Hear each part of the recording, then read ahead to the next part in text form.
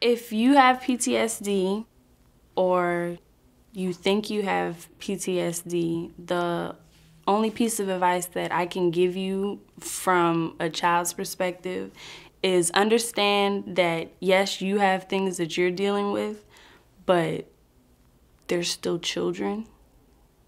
You know, they they have mood swings. We have attitudes. We, you know, we want things to go our way. But you you you you kind of have to to channel your anger, so to speak, or you kind of have to to figure out what energy you need to put in which situation, if that makes sense. There are certain arguments, there are certain battles that you just kind of choose not to have or you choose to have. But at the end of the day, I guess